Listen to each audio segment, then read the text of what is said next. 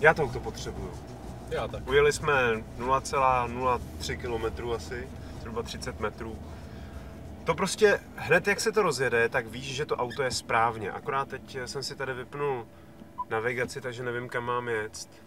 Hmm, to je ta jejich ergonomie. Moment, počkej, znovu od začátku. To je vlastně asi jediný, jediná věc, kterou bych, kterou bych tomu autu vytknul, že eh, ta navigace je taková trochu kostrbatá, bych řekl. A hlavně eh, je strašně debilně přeložená česky. Ono všechno je tady divně přeložený, ale protože to někdo překládal podle slovníku, aniž by viděl, co to v tom autě dělá. Takže ty si koupíš Range Rover za 3,5 milionu, nebo kolik tady to auto stojí. Hmm. A pak když uh, zadáš v navigaci cíl a chceš to potvrdit, tak ti to řekne jít. Já nikam nejdu, když jsem si koupil Range Rover za ano, 3,5 ano, milionu. ano. Chci jet. Ale tak něco jsme museli skritizovat, že jo? Tím by, tím by byly ty negativní stránky Ano. asi jako. Potom jako na, mě tady docela překvapilo, já jsem si než jsme vyrazili dal dvě kafe a juice Hmm. a tady bylo napsáno, že do vyprázdnění, do dalšího vyprázdnění 690 km nebo kolik. To, to by člověku To bych, asi, to bych asi nevydržel. No. Ale zase na druhou stranu musím říct, že pokud, pokud už v nějakém autě bych chtěl absolvovat takovou tu challenge jako eh, co nejvíc, jako vydrž co nejdelší dobu v autě a prostě čůrej do flašky jako taxikáři a já nevím co, tak jako asi není lepší auto než Range Rover, protože to je takový obývák v podstatě. Přesně. Jako. No a jinak, když jsme u toho vyprázdnění, což asi všichni pochopili, že se bavíme o do, dojezdu do prázdní nádrže, tak sedíme v, v osmiválci naftovým, 4,4 litru. Je to model SDV8, má 339 koní, kde Tak, jsem to tady no. napsaný. A ten motor je boží, prostě boží. Já ho skoro neslyším, když ho slyším, tak je to příjemný Ano. zvuk. A když potřebuju jako někoho předjet, tak jako povolím svaly, aby mi ta noha nedržela nahoře, dotknu se toho plynu a ono to udělá 120, 130, 140 a už je to moc, protože jsme samozřejmě v Čechách, tak No, už nebudeme dráždit. už jsme piráti a humor už by nás zastřelil. Nejsme, 140 tachometrových je ještě 130 reálných většinou. Tak, no a jinak já teda musím říct, že pořád si ještě zvykám trošku na ten design. Ty zadní světla i ty přední světla, není to úplně tak jako, uh, Hmm. podle mých představ, mně se prostě ten, ta hranatá krabice stará se mi líbila víc. Ale já už jsem skoro ve fázi, kdy mu to skoro odpouštím, protože to auto je prostě tak dobrý. A hlavně ono je fakt i cítit, že uh, oni vyndali z kufru ten Caterham, že jo? Je to o 400 kg lehčí. Je to samozřejmě hlavně tím, že hliníková karoserie, nápravy a já nevím, co všechno je hliníkovýho. Něco je snad i magnéziovýho, aby to bylo ještě lehčí. Uh, a uh, je to fakt znát i v takovém tom, když jsme jeli uh, v zatáčkách, tak, tak jako to auto reaguje, vůbec se jako nenaklání se nějak moc. Je to takový, no člověku nepřipadá, že jede s autobusem a No, přitom jako to je přesně. obrovský, že jo? Ale já vlastně, že já jsem, není, jakoby je to nějaký měsíc, co jsem jezdil s tím vlastně minulým Range Roverem a tam přece jenom, když člověk zatočil, tak cítil tu masu toho auta a musel ho trošku přemlouvat. Jo. Ale tady je to řízení mnohem pohotovější a jako takhle, není to sportovní, to v žádném případě, jo, tady to slovo vůbec nechci použít, ale je tak jako příjemně pohotový, jo, že spíš Hmm, se to hmm, chová hmm, jako nějaký MPV, že to má takový příjemně pohotový reakce, ale zároveň to není přebuzený, takže jakoby je tam ta mírná prodleva, mimochodem teďka jsme přejeli obrovský kanál, ve který jsem přijel nedávno osobákem a málem mi to vyrazilo volant z ruky a teďka se nestalo vůbec nic, jo. Takže na to, jak to má měkký a pohodlný podvozek, tak to auto se fakt dobře ovládá, je to prostě skvěle zvolený kompromis, podle mě. Eh, Já si myslím, že právě t- jako kdo čeká sportovnost od čehokoliv jiného než nějakého nízkého auta, maximálně nějakého sedanu, třeba se silným motorem, tak, eh, tak prostě je, je mimo, že jo. Je. Eh, Sportovní auta nemůžou být ani SUVčka, ani MPVčka, to nejde.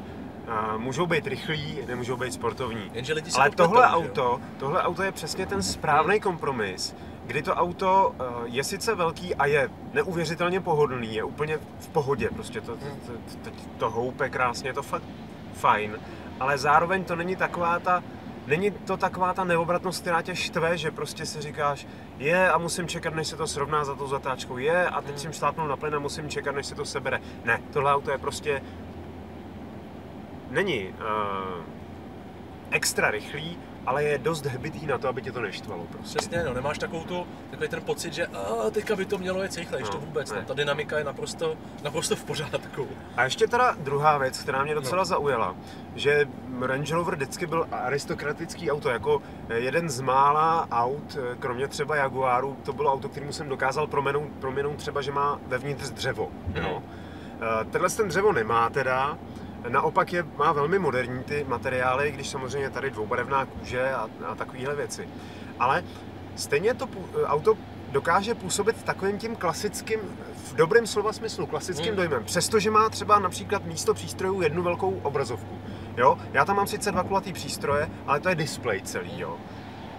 Já jsem s tím, já, já musím říct, že se mi to fakt líbí, že dokázali i těma moderníma prostředkama vytvořit takový klasický, střízlivý a fakt si myslím, že dost nadčasový interiér. Myslím si, že, eh, že, tohle, eh, že tohle auto nebude, eh, nebude zastaralý ani za nějakých 10-15 let, až budou v bazaru všechny, jako, takže to full bude fakt pěkný.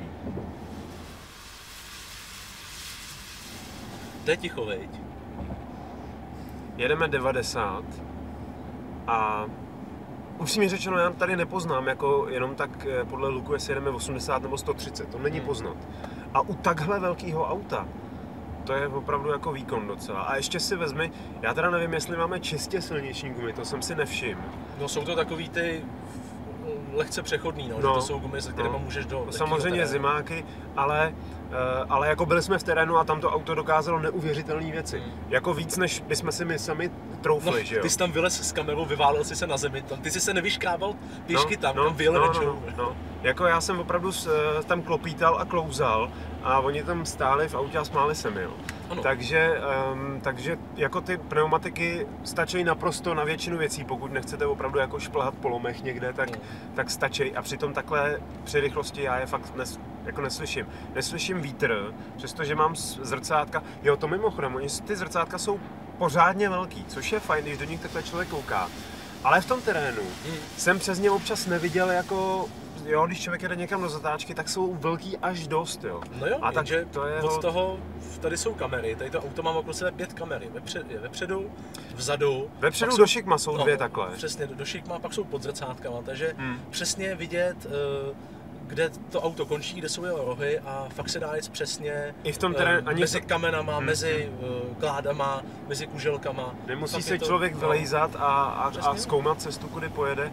Mně se prostě líbí, že tady ten Range Rover je svým způsobem furt stejný. To je prostě obrovský, hranatý, pohodlný auto, jo, který si nehraje na nějaký módní trendy. Jo, jako dobře, tak to dostalo diody, které jsou podle mě teda odporný, já je nesnáším, mně se to nelíbí. Ale to je mi teďka celkem jedno. Jde o to, že to auto je pohodlný, jede se v něm příjemně, nic mě tady neštve.